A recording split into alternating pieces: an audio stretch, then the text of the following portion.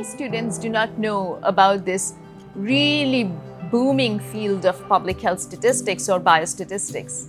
Mathematicians have certain skill sets, computer scientist students have certain skill sets, but when they see that they can use their skill sets to solve really important problems in biomedicine and public health, it empowers them to see the translation of their abstract mathematical world or the coding world into solving a real world problem. That motivates and inspires them to pursue further education in the field of data science and they go on to do graduate school. These are quantitatively susceptible undergraduates who come to the program and they come from all kinds of data science background, from statistics, from mathematics, from engineering, from computer science, from bioinformatics. But there are some students who also come from non-traditional backgrounds, from chemistry, from biology, from linguistics. And they are spending six weeks in an immersive summer program where they're learning all things data science. In the morning, they hear lectures from data scientists all around the different domains of data science.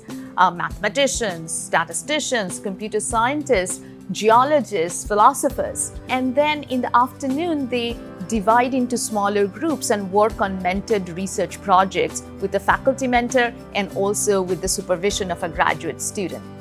And also during the whole program, they undergo a lot of professional development workshops to prepare them for graduate school, as well as a lot of fun activities. For example, maybe a hike to the East Rock here. We've started amassing an unprecedented amount of data in health and just more globally, and I think it's now imperative that we actually utilize that data because it represents a huge opportunity to improve public health. That's part of why I'm excited about the field. I think there's a huge opportunity for positive change and impact from using all of the data well. I think every student here at the School of Public Health is passionate about a specific health issue or a specific project intending to improve health and a lot of them have an incredible interest and passion for using tools appropriately, using methods appropriately to further those aims and data science is a huge part of all of our lives now. Computational tools are a huge part of our lives and I know people are extremely excited to get involved.